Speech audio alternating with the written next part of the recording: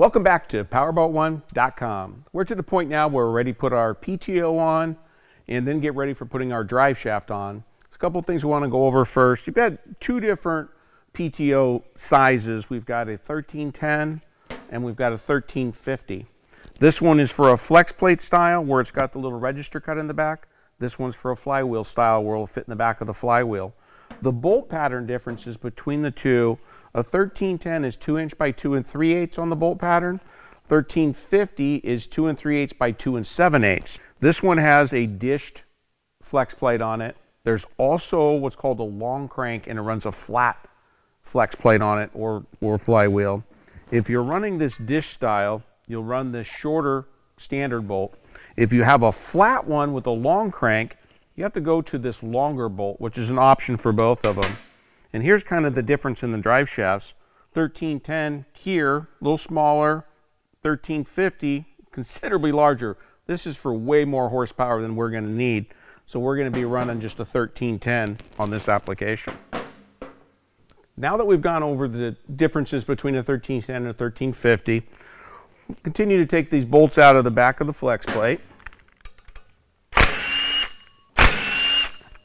Now that we've got the bolts out, we're going to take, we'll take the PTO and it's just going to go over the crank snout like that. Something you want to check when you're putting it on is you can see where this little alignment pin hole is here in the back of the crank. The same thing's on the PTO.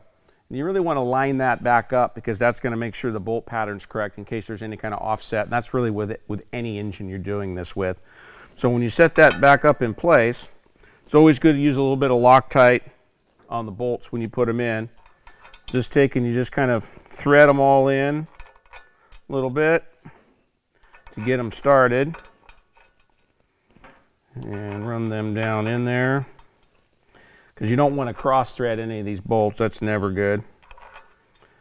And I'll usually just take the little ratchet and make sure that they're that they're started good. Okay now that we've got them started we'll just take and buzz them in here easy with this running kind of in a little crisscross pattern.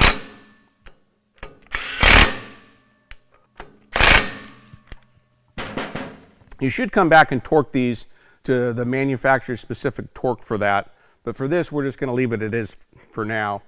The drive shaft assembly well actually would sit right in there. It has a register also that sits into this register.